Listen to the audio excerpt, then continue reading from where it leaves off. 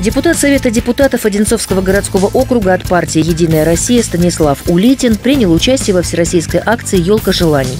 Парламентарий навестил пятилетнюю жительницу муниципалитета Анастасию Ешан, чтобы вручить ей подарок, о котором девочка написала в своей открытке – куклу «Лол» и пожелать успехов в новом году.